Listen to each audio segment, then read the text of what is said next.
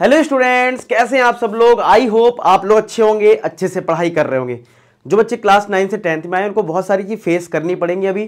शुरुआत में आपको पता है सीबीएसई ने अपना सैंपल पेपर सारी चीज़ अपलोड कर दी हैं। साथ के साथ एक इंपॉर्टेंट सर्कुलर भी जारी किया है, जिसमें कंपेयर करके बताया है। और आपने हो सकता वो वीडियो देख भी लिया हो बहुत जगह, लेकिन मैं आपको दिखाऊँगा पर्टिकुलर कि कौन से क्वेश्चन ऐसे हैं, जो सीबीएसई ने प्रीवियसली अपने सैंपल पेपर या प्रैक्टिस पेपर मतलब ऑफिशियली डाल रखे हैं। मैं वो कंपेयर करके दिखाऊँगा कि यार एनसीईआरटी से कितने डिफरेंट हैं। सिर्फ़ आपको सिर्फ़ सर्कुलर नहीं दिखाऊँगा कि यार इसका मतलब सर्कुलर के बाद आप ये खुद भी सोच पाओगे यार क्वेश्चंस कहाँ से करने, कैसे करने। ठीक है? तो चलो सबसे पहले तो मैं आपको सर्कुलर एक बार दिखा दूँ, जिससे एक बार आपको आइडिया लग जाए कि एक्चुअल में सीबीएसई ने क्या बोला है। अगर अभी तक आपने वाला सर्कुलर नहीं देखा है तो। तो आप देख सकते हो यहाँ पे साफ़ साफ़ लिखा है नाइन टेंथ, और यहाँ पे आप देख सकते हो बाईस, तेईस और ये तेईस, चौबीस। यानी ट्वेंटी ट्वेंटी थ्री और ट्वेंटी फोर, यानी ये आपका है, ये पिछले साल तक है। इसमें यही बोला गया था कि कॉम्पिटेंसी बेस्ड क्वेश्चन जो है वो फोर्टी परसेंट है। और ये कॉम्पिटेंसी बेस्ड क्वेश्चन किस फॉर्म में पूछे जाएँगे आपसे? एमसीक्यू फॉर्म में होंगे केस बेस्ड होंगे सोर्स बेस्ड होंगे। बाकी ऑब्जेक्टिव क्वेश्चन ट्वेंटी परसेंट है रिमेनिंग फोर्टी परसेंट आपका लॉन्ग आंसर शॉर्ट आंसर में जाएगा। अब ये आप सोचो लॉन्ग आंसर शॉर्ट आंसर को थर्टी परसेंट में कर दिया गया और आपका यहाँ पे जो दस परसेंट बढ़ा दिया गया, जो कॉम्पिटेंसी बेस्ड क्वेश्चन थे, वो यहाँ पे फिफ्टी परसेंट कर दिया गया। यही आपने न्यूज़ सुनी होगी, ठीक है?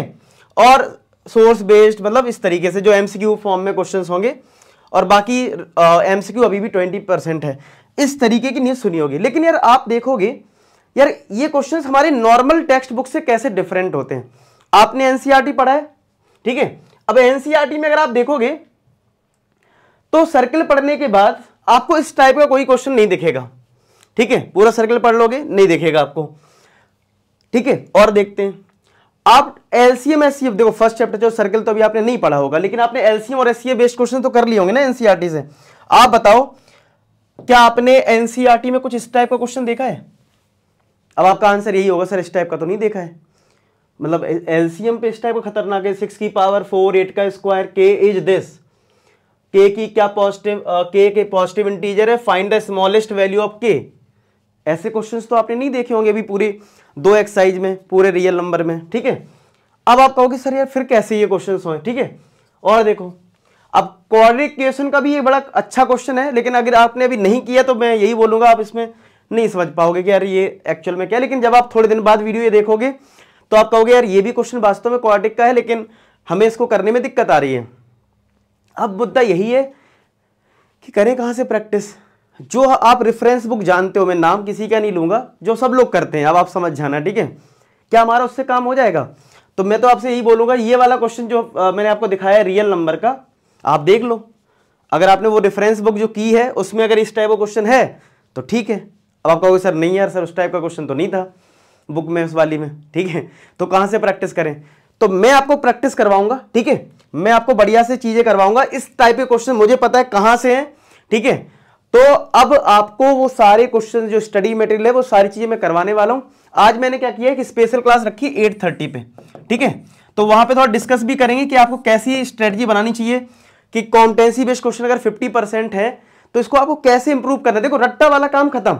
भाई, ये सीबीएसई ने किया क्यों है? पहले क्या होता था ना एनसीआरटी बच्चे रट के चले जाते थे। क्वेश्चन समझ में आए ना आए, लेकिन बस प्रोसेस समझ ली, छाप के आ गए। लेकिन अब वो नहीं है। अब आपको क्वेश्चन की डेप्थ समझनी पड़ेगी अप्रोच डेवलप करनी पड़ेगी, उस पर सीबीएसई का फोकस है।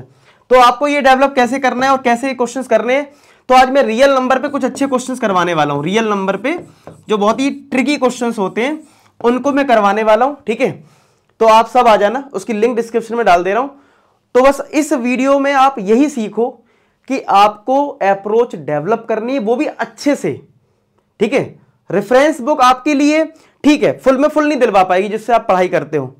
आपको एक्स्ट्रा एफर्ट एमसीक्यू के लिए डालना होगा। अच्छी बुक थोड़ी सी प्रेफर करनी पड़ेगी एक्स्ट्रा लेवल पर तैयारी करनी पड़ेगी। तो उसके लिए मैं आज एट थर्टी मिलूँगा, ठीक है? और बस पढ़ाई करते रहो। बोर्ड एग्ज़ाम में तबाही मचाएँगे। हर साल बढ़िया से बच्चे पढ़ते हैं। इस बार भी आप लोग भी फोड़ोगे। एक बार कमेंट सेक्शन में सारे अच्छे लिख देना। A four S army board exam में फोड़ेगी। A four S army board exam फोड़ेगी। हर साल ए फोर एस आरबी फोड़ती, इस बार ही फोड़ेगी। अच्छा एक चीज़ और है स्पेशल क्लास में अगर आप पहली बार आ रहे हो फ्री क्लास है, लेकिन कहीं कोड मांगे तो लगा देना ए फोर एस ठीक है? ए फोर एस और आगे एल ऐसे लिख देना एल ए फोर एस ठीक है? L A four S A four S army हमारी है और एल मतलब live live A four S ठीक है? क्योंकि लाइव क्लास होती है तो लाइव ए फोर एस तो L A four S code use करके फ्री में आप क्लास ज्वाइन करना, ठीक है?